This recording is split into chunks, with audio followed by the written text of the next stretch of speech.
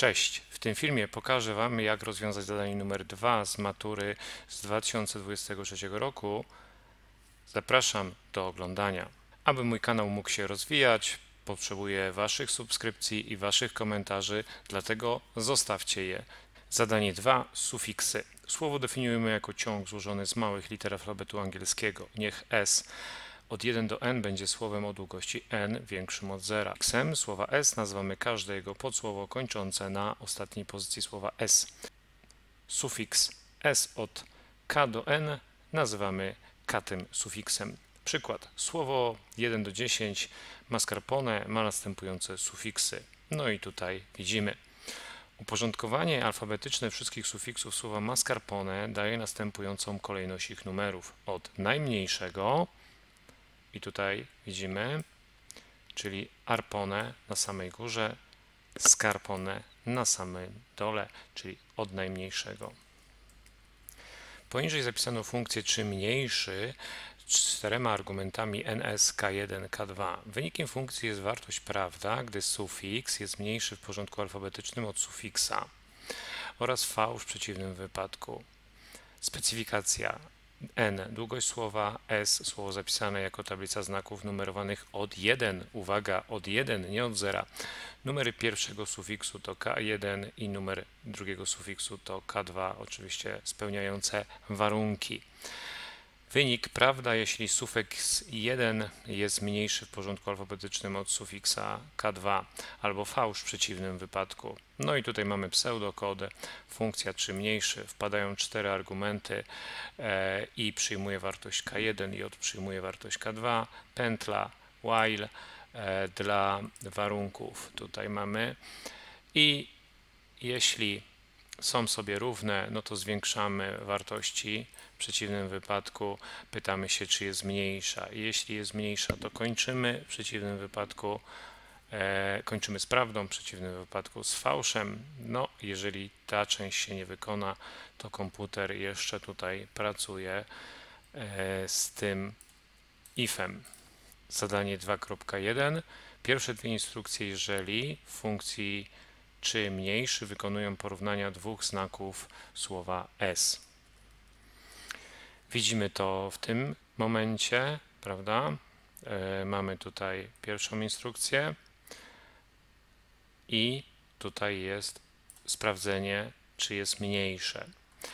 Dla danych S mascarpone K1 5 i K2 2 algorytm wykona trzy porównania. Pierwsza instrukcja, jeżeli sprawdzenie, czy s od 5 równa się s od 2, następnie pierwsza instrukcja, jeżeli sprawdzenie, czy s od 3 równa się 3 i druga instrukcja, jeżeli sprawdzenie, czy s od 6 jest mniejsze od s od 3. No i pytanie dla nas, podaj przykład słowa s o długości mniejszej lub równej 10 oraz liczb K1, K2 różnych od siebie, dla których funkcja czy mniejsza wykona, wykona dokładnie 6 porównań w pierwszej instrukcji jeżeli, czyli generalnie tutaj musimy mieć 6 takich samych znaków, prawda? Weźmy sobie jakiś ciąg znaków, na przykład nana, nana, nana i jeszcze raz tutaj mamy 3a, czyli tych znaków mamy raz, 2, 3, 4, 5, 6, 7, 8, 9, 10, tak? Mamy 10 znaków. No i teraz, jeżeli chcemy, żeby było 6 porównań, czyli żeby się 6 razy ten if tutaj wykonał, no to musimy wziąć sobie coś, co ma 6 takich samych znaków, a więc raz, dwa, trzy, cztery, pięć, sześć, tak? Więc tutaj sobie wklejamy. I w tym przypadku to będzie K1, bo startujemy od pierwszego, a to będzie K3, bo startujemy od trzeciego. Komputer wykona idealnie 6, raz, 2, 3, 4, 5, 6. Dalej już nic się nie wydarzy. Kolejny przykład to na przykład bierzemy sobie 10 takich samych znaków. 6, 7, 8, 9, 10. Zaczynamy od dwójki, czyli na przykład tutaj będziemy mieli raz, dwa, trzy, cztery, pięć, sześć, siedem, osiem, dziewięć, a tu zaczynamy od piątki, czyli będziemy mieć dokładnie 6. Raz, dwa, trzy, cztery, pięć, sześć. Podobna sytuacja. Tu mamy K2, tu mamy K5. Jak zaglądniemy do arkusza odpowiedzi, to widzimy, że w przykładowych rozwiązaniach jest ten sam wynik. Zatem rozwiązaliśmy dobrze zadanie 2.1.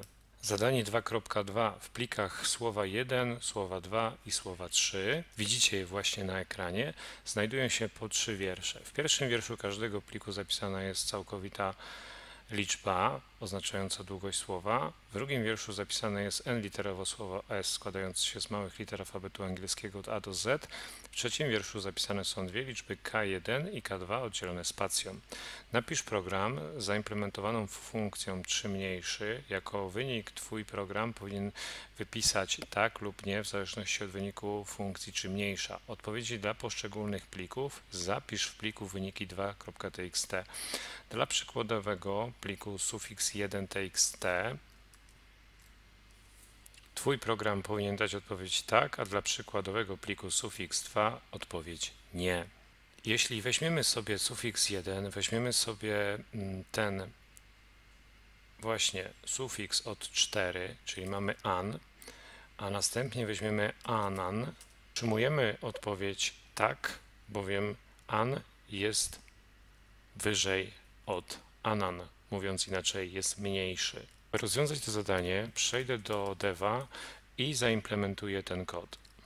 Wcześniej zapisałem podstawowe rzeczy, natomiast teraz patrząc na pseudokod, tworzę sobie tą funkcję bool czy mniejszy.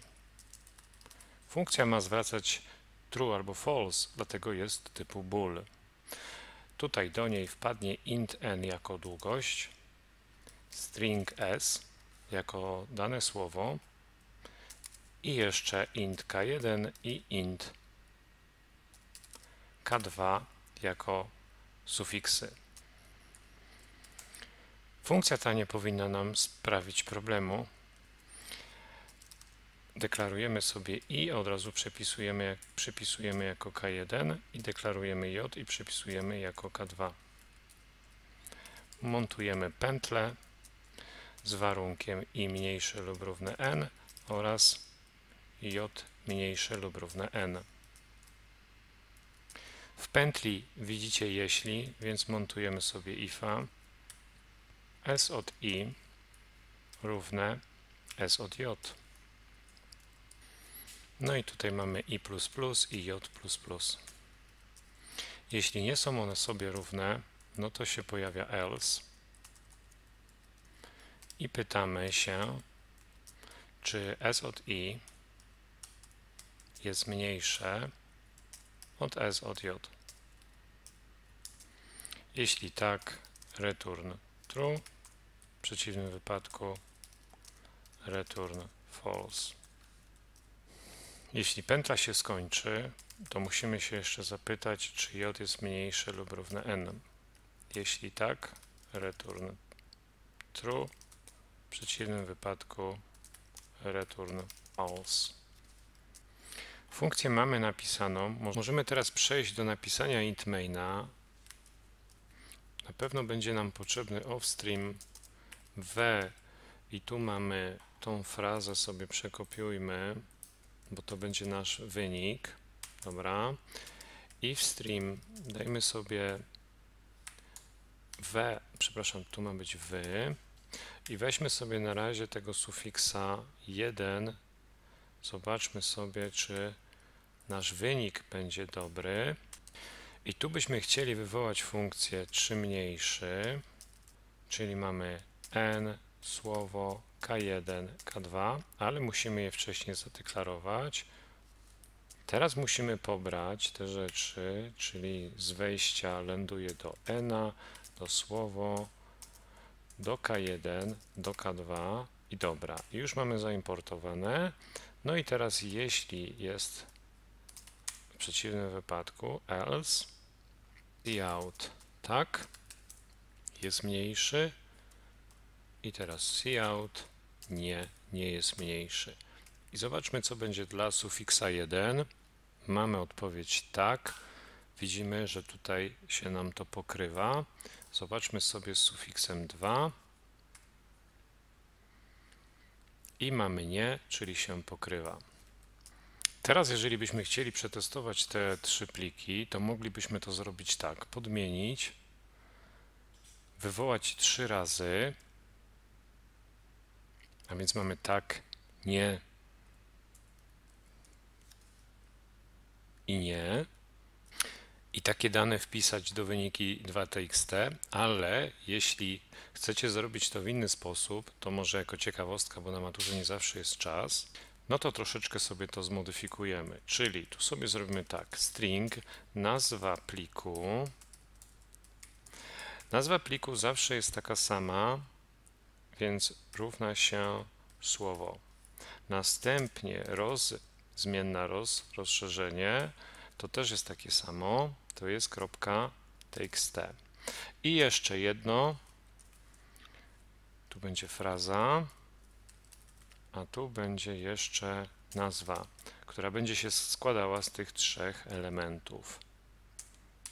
Teraz sobie robimy pętlę int i równa się 1, bo jest słowo 1, 2, 3, do i mniejszego 4 zakończy się na 3 i i++. To wszystko weźmiemy sobie teraz właśnie w nasze klamerki i tu będą się nam tworzyły, komputer będzie odczytywał. No ale jeszcze właśnie zamiast słowo 3, txt, 2 bądź 1, tutaj nazwa p, kropka c, podłoga str i dwa nawiasy. Oczywiście jeszcze wcześniej musimy uzyskać tą nazwę, więc nazwa p będzie równa fraza plus i plus 48 plus rozy. Tu sobie damy jeszcze czar. No i po realizacji tego jeszcze pasuje nam słowo równa się puste, żeby się wyzerowało i nazwa p też puste, żeby się wyzerowało. Zamknijmy w tym miejscu v.close Natomiast w tym miejscu wy.close. No i zobaczmy, co się stanie. W tym miejscu nie ma średnika, jest kropka. Tu komputer nie wie, co to jest nazwa, bo jest nazwa P.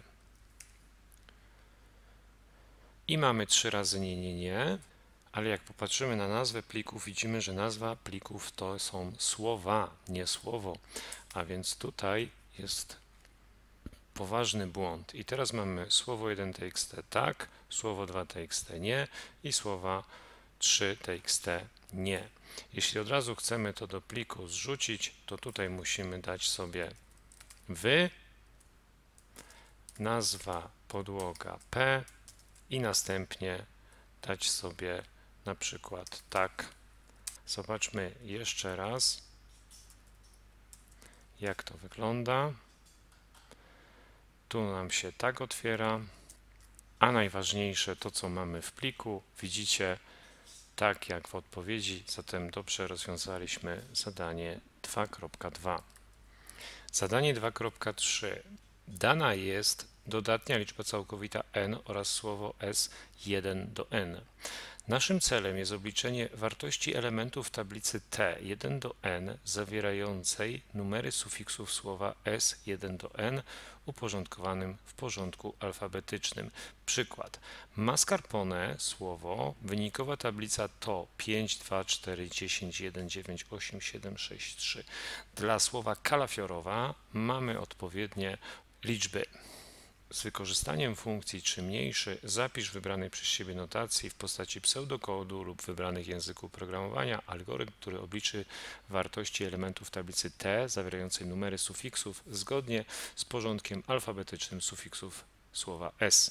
Uwaga, w zapisie możesz wykorzystać tylko operacje arytmetyczne, dodawanie, odejmowanie, mnożenie, dzielenie, dzielenie całkowite, dzielę reszta z dzielenia, Odwoływanie się do pojedynczych elementów tablicy, porównywanie liczb lub znaków, instrukcje sterujące i przypisania lub samodzielnie napisane funkcje zawierające wyżej wymienione operacje. No i tutaj mamy dane, to już dobrze znamy, no i wynik tablica T taka, że t i ty sufiks słowa s jest mniejszy w porządku alfabetycznym od t i plus 1 sufiksu słowa dla każdego.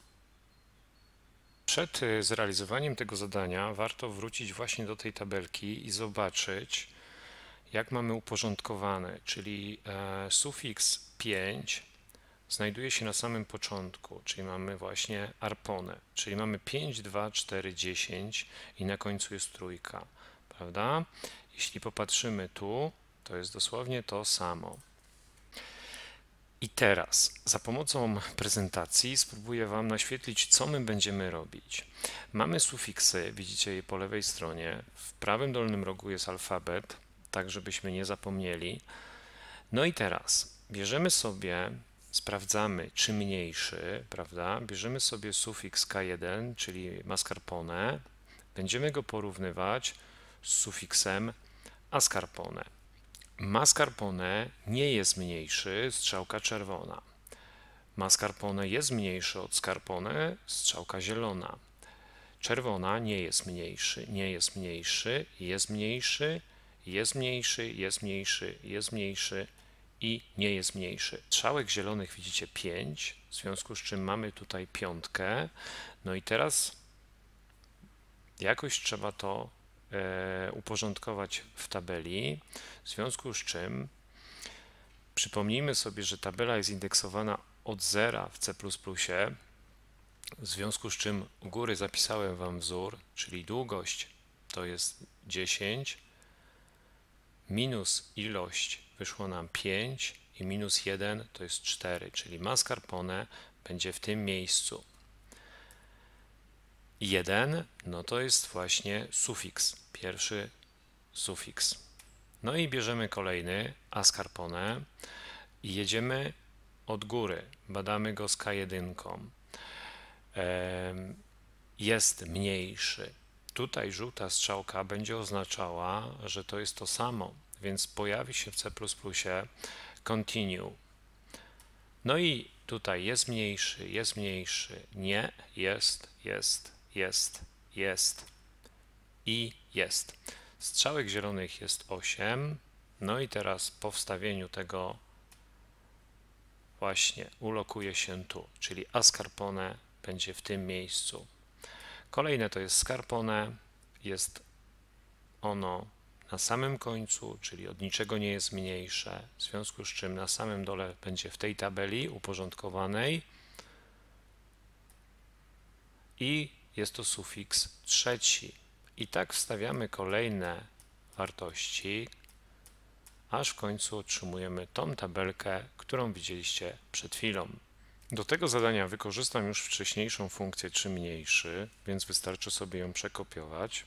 No i zostało nam napisanie int maina, int main, return 0. Ustawiamy sobie jakieś słowo string, słowo równa się kalafiorowa. Tutaj musimy mieć zmienną dyły, czyli długość słowo size. Tutaj będziemy mieć ilość właśnie tych zielonych strzałek, czyli tych mniejszych. No i przyda nam się ta tablica wielkości długości. Wyzerujmy sobie, ona będzie przechowywała właśnie numery sufiksów które na samym końcu wyświetlimy, średnik. No i będziemy sobie porównywać poszczególne sufiksy, więc pierwsza pętla int k1 równa się 0, średnik k1 mniejsze od długości i k1 plus plus. Tu budujemy taką samą pętlę, tylko że zamiast K1 jest K2 i będziemy sobie porównywać, ale jeśli K1 równe K2, co widzieliście za pomocą żółtej strzałki, continue, jeśli 3 mniejszy od równa się true, to nasza ilość zwiększa się. Pozostaje to jakoś wpisać w tablicę, więc ten wzór, który był na prezentacji, czyli długość minus ilość i jeszcze minus 1, bo tablica jest indeksowana od 0, a nie od 1, tak jak autor nam tutaj próbuje e, uświadomić. K1 plus 1 i oczywiście musimy wyzorować ilość równa się 0. Jeśli się zastanawiacie, dlaczego tu jest plus 1, ano dlatego, że zaczęliśmy od 0, więc musimy nadać plus 1.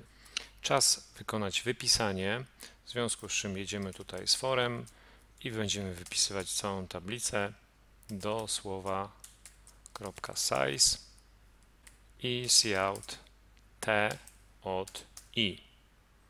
Tutaj sobie zrobimy jakiś odstęp, średnik. No i zobaczmy sobie, co nam komputer wypisze. Widzimy coś takiego.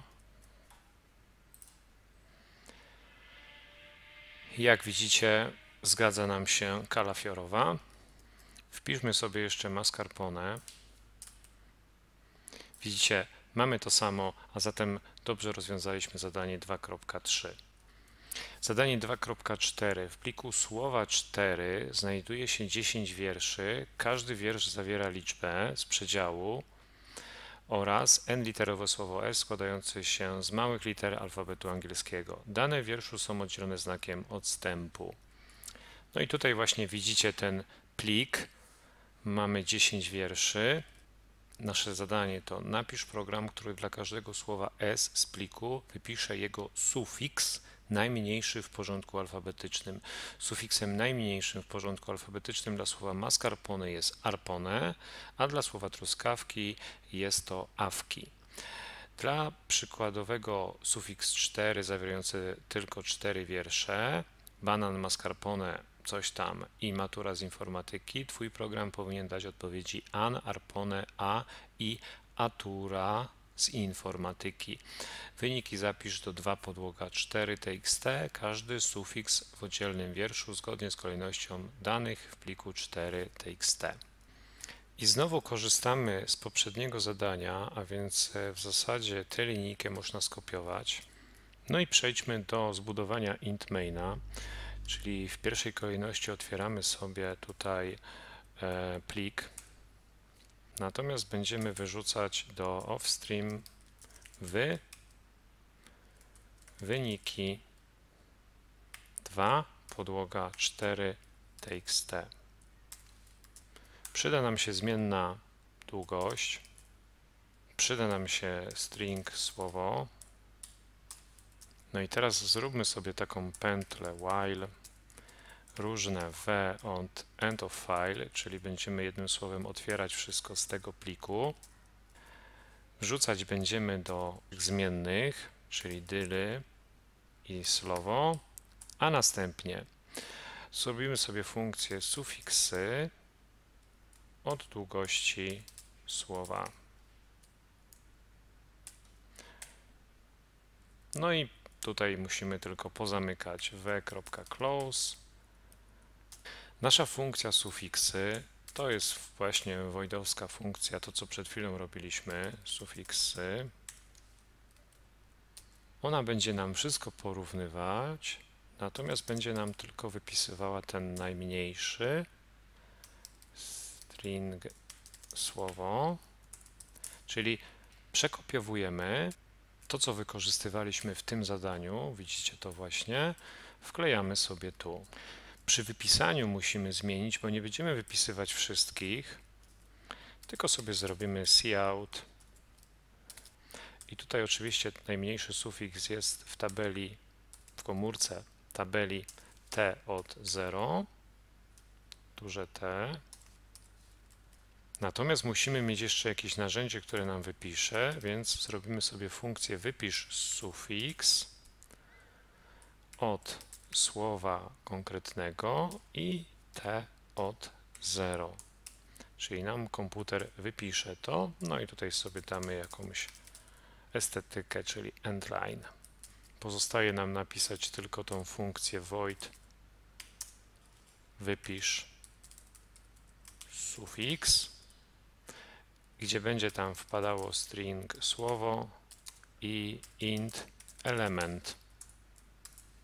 Tak jak wcześniej widzieliśmy, że sufiksami może być ascarpone i tak dalej, więc tutaj robimy pętlę. Int i równa się element. Minus 1 i mniejsze od słowo. Kropka size. I i plus plus. Tutaj mamy cout.